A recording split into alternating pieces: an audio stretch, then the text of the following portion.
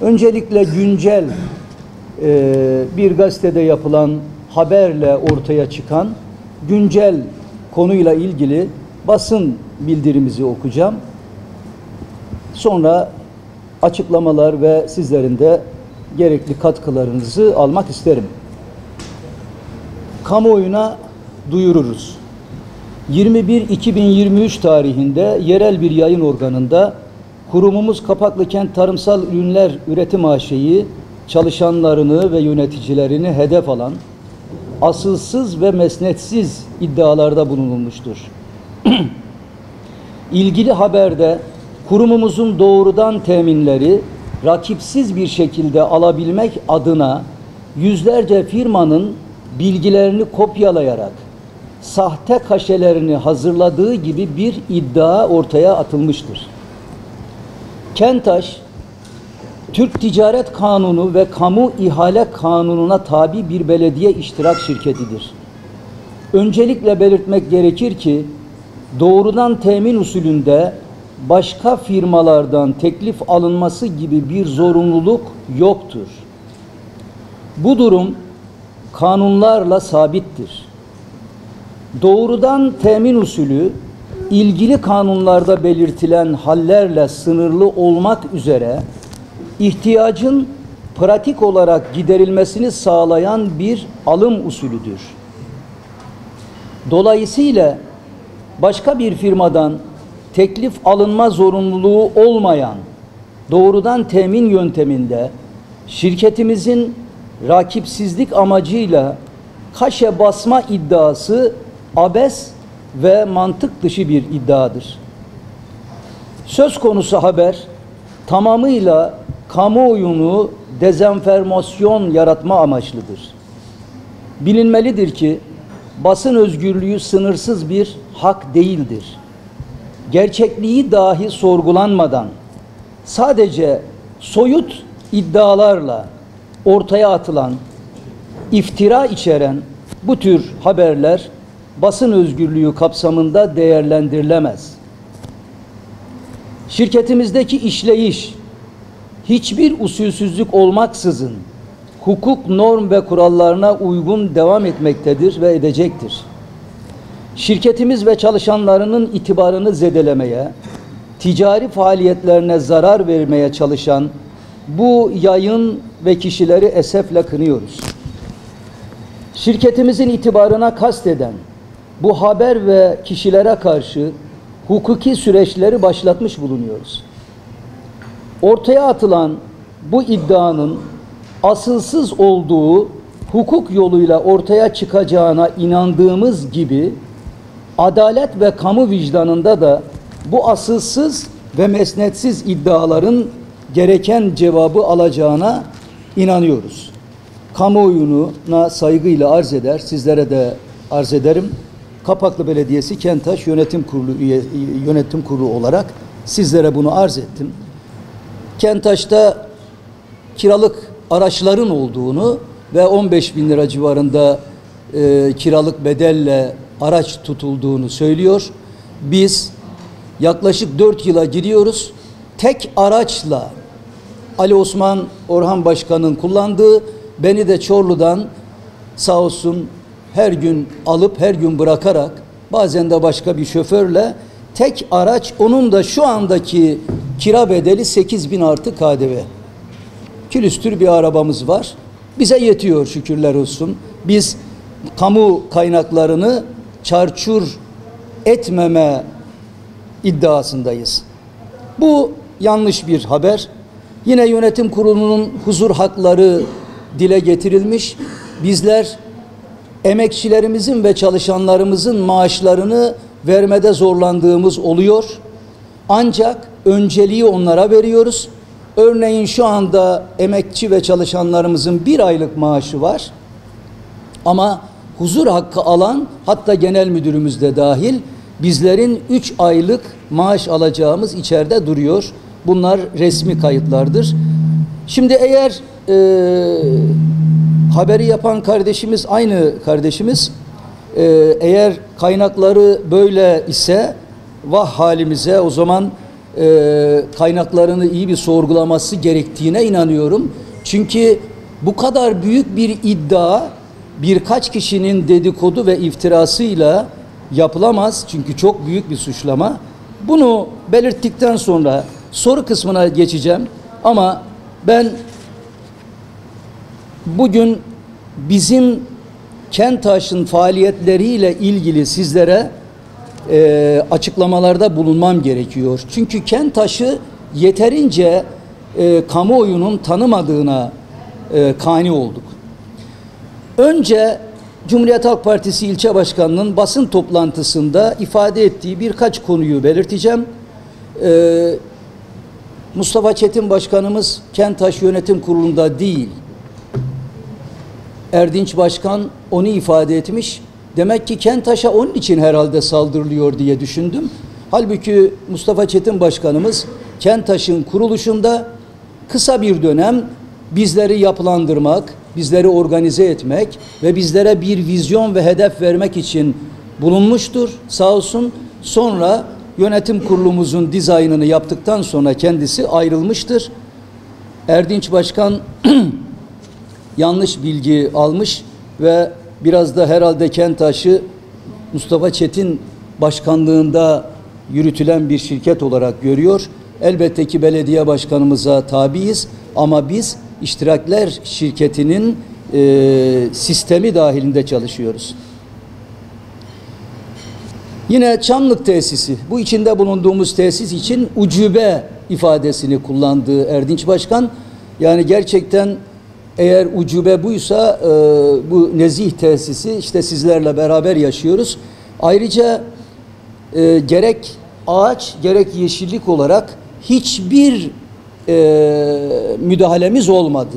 Bu alanda geçmiş dönemden bir ucube denilecek bir beton platform vardı. Biz onu da milli servet olarak kırmadık, onu da değerlendirdik ve bu nezih e, ortamı yaptık. E, haddi zatında kendisi de muhakkak gelmiştir buralarda çay kahve içmiştir. E, ama e, böyle bir nezih e, tesisi çevre düzenlemeleriyle birlikte bu parkın hepiniz de biliyorsunuz e, güvenliksiz bir park olduğu, serserilerin gezindiği bir park olduğu önceden biliniyordu. Biz buraya el attık. Parkın düzenlemesini de güzel bir şekilde yaparak burayı halkımızın hizmetine sunuyoruz. Yine arkada gördüğünüz bir bina var. Ona da çok takılıyor bazı arkadaşlar. Tanzim satış merkezi olarak dizayn ediyoruz.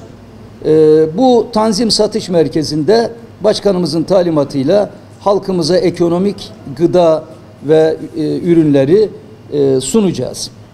Buna bağlı olarak hem burada hem de bunun dışında altı merkezde e, ucuz ekmek satış noktaları tesis ediyoruz. Biz maliyetine olarak buradan halkımıza yedi noktadan biri burası altı da diğer noktadan e, halkımıza ucuz ekmek vereceğiz. Bir ifadesinde tüm ihaleler ve doğrudan teminleri Kentaş alıyor. Yani hani bu kadar da sallama, bu kadar da e, gerçekten e, ben Erdinç Bey'e yakıştıramadım. Yani tüm ihaleler ve doğrudan teminler ne demek? Bizim bugüne kadar aldığımız üç tane parkın e, içindeki küçük alanları sosyal tesis yapmak amacıyla Bülent Ecevit, Süleyman Demirel, Ali Baba, bir de Kazak Gölü. Bu üç ihale ile bu dört tesis alınmıştır. Bunlar da kiralık e, kiralık ihalelerdir ve kira ödüyoruz. Yaklaşık e, 30 bine yakın kira ödüyoruz. Aldığımız tek ihale bu.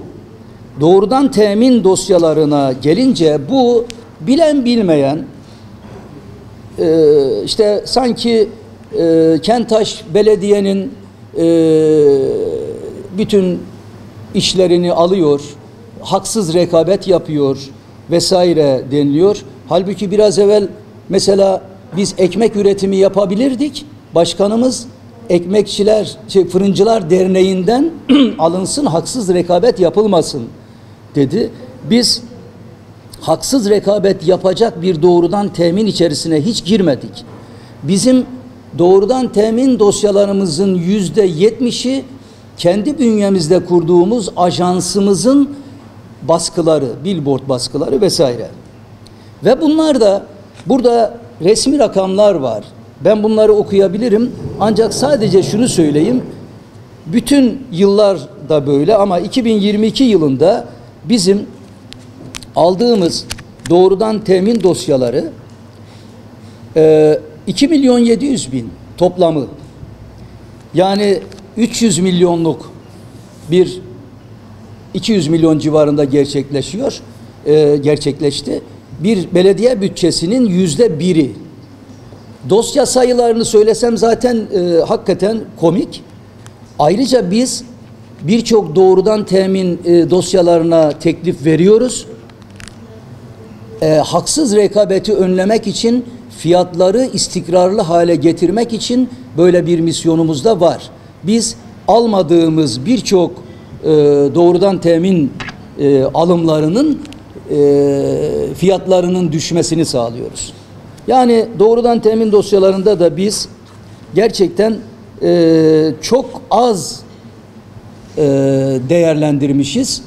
Halbuki belediye Kentaş e, iştirak şirketi kendi şirketi olmasına rağmen belediye bize daha çok iş ve destek vermesi gerekiyor iken biz buna tevessül etmedik. Peki biz ne yaptık? Biz ilk 3 yılda 500 bin TL sermaye ile ilk 3 yıllık dönemde 500 bin TL sermayemiz vardı. Bununla ajans kurduk. Hepiniz ajans ve medya işini bilen insanlarsınız. Bizim şu anda bağımsız bir ajansımız var ve burada baskı yapıyoruz. Lazer makinalarımız var, bir sürü ekipmanlarımız var. Bu belediyemizin e, yani iştirak şirketinin mülkü Demirbaşı.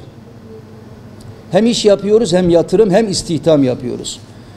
Bizim daha sonra sermaye artırımıyla toplam 10 milyonluk bir sermaye e, gücümüz oldu. Bugüne kadar totalde 4 yıl civarında 8,5 milyonu bize ödendi. Bizim arkadaşlar bugün itibarıyla 8,5 milyon sermaye alan bir şirket Demirbaşları Çamlık Tesisi, e, Kazak Gölü, Bülent Ecevit, Süleyman Demirel, Ali Baba, ajansımız ve demirbaşlarımızın toplamı yaklaşık 12 milyon TL. Yani bizim şu andaki mal varlığımız 12 milyon TL civarındadır. Değerli arkadaşlar, piyasaya borcumuz var 5 milyon civarında. Değerli arkadaşlar, takdirinize sunuyorum, kamuoyunun da takdirine sunuyorum. 8,5 milyonluk sermaye ile 12 milyonluk şu anda mal varlığımız var. Bunun yanında ortalama 30 kişilik bir kadromuz var. 30 kişilik istihdamın personel giderleri, vergi, SGK, ofis giderleri vesaireyi hepsi burada var. Yaklaşık bunlar 5-6 milyona e, düzeltiyorum personel hariç 5 milyon civarında. Personelin kendisi sadece e, yaklaşık olarak 6 milyon civarında. Şimdi basit bir hesapla bakıldığında e, kent AŞ e, zarar etti ya da e, kamu e,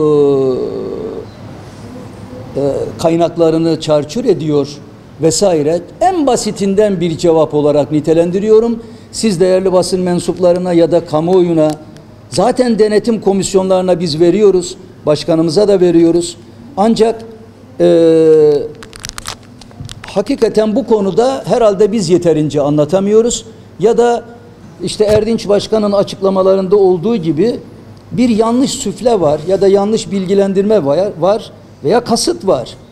Erdinç Başkan'ı biz davet ettik Kent AŞ'ye. Kendisine bir küçük sunum yaptık. Beraber çay kahve içtik. Çok memnun olmuştu. Mesela mantar tesisimizden. Yani mantar tesisini anlatınca çok memnun olmuştu. Ama şimdi mantar tesisini küçümsüyor, tesislerimizi ucube diyor. Böyle bir siyaset olmaz. Kent AŞ ne AK Parti'nin ne bir başka partinin. Kent AŞ Kapaklı Belediyesi'nin bir şirketi bugün biz yönetiyoruz, yarın başkası yönetebilir. Ama bu kurumu Mustafa Çetin başkanlığımızın başkanımızın önderliğinde